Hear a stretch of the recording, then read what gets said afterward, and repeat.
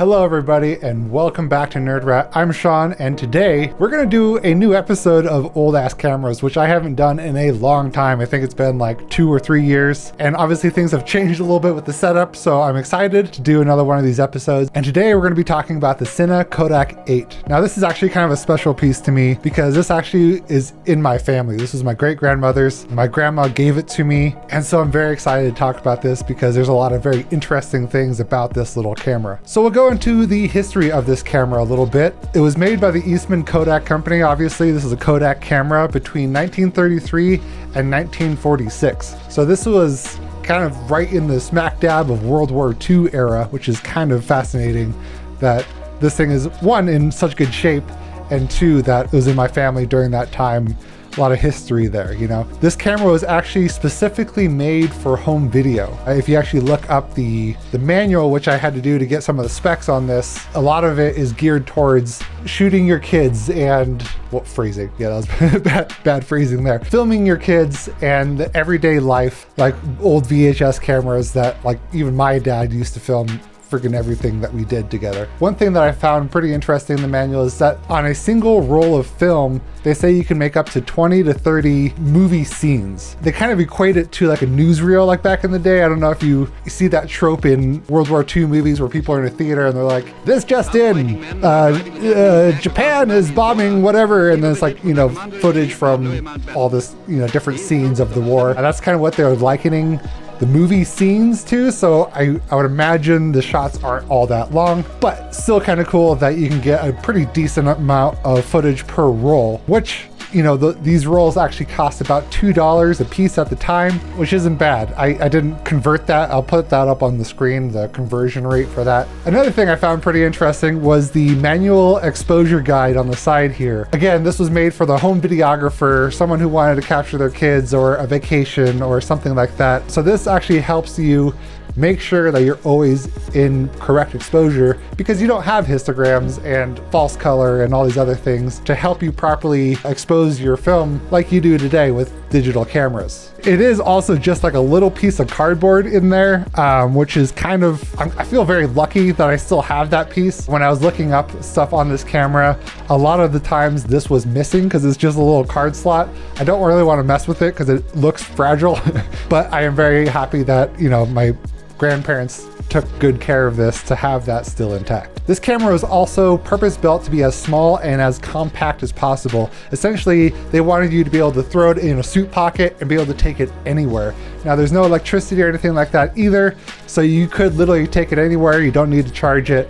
Uh, it runs off of springs, and we'll get into that more in just a second. Now this is assuming that uh, people in the 1940s had pockets big enough for this, but I feel like most suits had big old pockets that you can stick one of these things in. It is kind of heavy. It weighs a few pounds at least, so it might be kind of a weight on you, but still kind of cool that it was made to be like almost essentially like a cell phone camera of today. This camera actually came out in two separate models, the Kodak Cine 8 Model 20 and the Model 25. So the 20 came with a 13 millimeter f3.7 lens, and the Model 25, which is what I have, came with a 13 millimeter 2.7 f-stop lens, so it's a little better in that low light. Both lenses actually went up to f16, so you had a pretty good range of exposure that would allow you to expose for most instances, even in broad daylight. Luckily, I come from a family full of photographers, so they must have known that having a slightly faster lens would be beneficial in the long run. I actually couldn't find anything on the price difference, um, but I would assume the Model 25 was slightly more for that better lens. So I actually went back and did a little more research in the manual to see if I could actually find the prices. And sure enough, at the very end, they had a price index. So as you can see here, the Model 20 was 2950 which doesn't sound like a lot, but when you convert that for today's inflation, that would have been around 650 bucks. That means the Model 25 being $42 would have been $927 roughly. So that's actually kind of pricey. That's kind of like today's kind of DSLR prices. The other fun thing I found is that they also have like accessories that you can get for all the cameras in this kind of a manual slash catalog that I found. So you can see here for the carrying cases for the Model 20 or 25 would have been $3.50, which in today's money would have been $77. but, you know, it must have been a pretty nice, probably leather case, handmade in Italy or something like that. The other cool thing is that these little tiny lenses also came with filters. They look like they just slip over the front. So that allowed you to maybe put NDs on or a polarizer, or even if you're shooting black and white on this, you could put on different color filters and that would change what like the landscape looked like or skin tones or depending on where you're shooting you could change the color of the front and that would actually dictate what your black and white luma values would look like. Because you're not actually exposing anything to a saturated chroma film stock uh, you could do that and it wouldn't look red. It would just add like it would make the blues look darker in the sky or something like that so both cameras shot 8 millimeter film stock, and that could be color or black and white. Now mine still opens. Some of these uh, it looks like it's been dropped, so there's a little bit of a ding, but it does open, and I do actually have some film inside here still. It looks like it's exposed, so I don't think I can get anything off of it, and I don't honestly want to touch it because I feel like it would fall apart. But it is kind of cool that it kind of still has some of the internals uh, still working. This film stock is considered double perf. So that means that the sprockets on this wheel that runs the film through the camera has two sets of sprockets on either side of the film stock. I couldn't really find out what the benefit of that was, except for maybe a smoother feed and a more sure feed so you wouldn't accidentally double expose your film. But it is kind of cool that it all still looks to be in great shape on the inside of this. So I think I could probably actually shoot 8 millimeter film stock if I actually went to buy some. Now, if you want to see that, go ahead and leave me a comment comment down below and I will try to find some of that and shoot something on this because that would be kind of cool. So like I was saying earlier, the camera does not have any electronics in it. It's all manual. It's all, I guess, physics or mechanical. That's the word, mechanical. So it came with this little winding key on the side and mine actually still works. You can crank on it and it will actually wind up that spring that's in there. And it's essentially a big coil. Like uh, I think watches have a similar mechanism. Old watches or old big clocks have a similar thing uh, built inside of it. Now, if you fully crank this all the way up, I, I try not to use it too much because I feel like it might need some maintenance or like some oil or something before I actually use this. But if you were to crank this all the way up, it had a runtime of about one and a half minutes. So you couldn't do like long one takes, but you could shoot, you know, like someone blowing out candles on a birthday cake and you'd be fine. So once it's all wound and you're ready to shoot, this is actually the record button. And it's not just a button, you actually pull it down and ready for this? Mine still works, ready?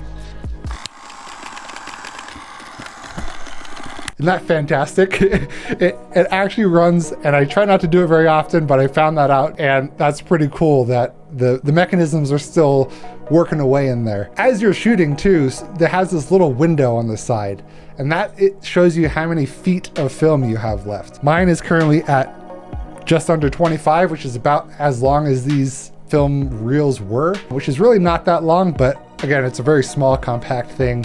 You don't have a lot of room for all that extra film. Now, I never actually found out what the frame rate was on this, but I imagine it's somewhere in 24. I feel like that was pretty standard. It might be less. I honestly don't know. I didn't find that anywhere. if you know, let me know down in the comments because I'd be curious. But um, you'd actually be able to figure out how much you're recording based off that frame rate and how many feet you have left. So if you say you had five feet left, you could be like, okay, we have this many minutes left or seconds left of footage. I've never had to deal with that. Again, with SD cards and CF cards or whatever, it will show you how much time you have left. So we're very lucky we don't have to do mental math. The camera does it for us, but still a very cool little feature. Now going back to the lens, it does have little exposure adjustments that you can do on here and these actually kind of lock in place. There's a little piece of metal here that kind of locks it in place so you don't accidentally bump it out if you're filming and you lose your exposure. But you can look at this and be like, okay, I'm shooting in bright sun and it'll show you, okay, you want to go to F11 and then you can just tune this little thing and you're at F11, which I actually nailed that without really looking. Again, thinking of everything to keep this as compact as possible, this comes with a little handle. Not only can you carry it around and you know go for a stroll and you know go film some ducks in the in the local pond, if you look through it this way, it's actually the viewfinder. So there's a little tiny piece of glass on this side and a little bit bigger one on this side that looks to maybe magnify a little bit or maybe correct the distortion or something like that. But you can actually look through this and film. I thought that was pretty neat. Mine's super dirty, but I kind of like the age, the patina that's on this thing. But I thought that was kind of a cool little feature, and then it just folds away and it's fine. And you don't need to have like an eyepiece or something off the side like you would with most film cameras. It just kind of gets you in the ballpark of knowing what your composition is so you're not just like ho- hopefully I, I got the kid's birth, you know. now this camera only has one tripod mounting point right on the bottom here. I don't assume that anybody was doing vertical video back in the day. I don't think that was on anybody's radar. And I don't know how you would mount on the side here because these walls are very thin, but you can mount it to a tripod. And this is actually the tripod that my great grandparents uh, used. I'm assuming maybe grandparents, maybe they handed down this camera to them. And you can actually go ahead and shoot. And like, how freaking cute is that? That's so cool. And this thing actually pops way out. You can actually go pretty high with this thing. I actually use this little mini camera as my streaming camera setup. So I put my little Logitech on this little thing and it sits on my desk and I look at it every day. I don't really stream anymore, but it is kind of a cool little thing to have hopefully one day I'll actually be able to shoot on this. I, I don't know how much film is anymore or where to get it properly, you know, developed. But uh, again, if you guys know where to find this kind of stuff or where to get it developed, please let me know because I will do a follow-up video and shoot like a mini short film on this thing. Try to do, you know, the whole edited in camera kind of thing on one roll and see what we come up with because I think that would be freaking cool. But I think that's it for this video. There wasn't a whole lot of info on this camera that I could find. If I missed anything, please let me know down in the comments if someone else has this in their collection as well. I'm very curious. I'm always loving to find out new things about my camera collection. So yeah, please let me know. Hopefully you like this video. Uh, be sure to subscribe and we'll see you in the next episode.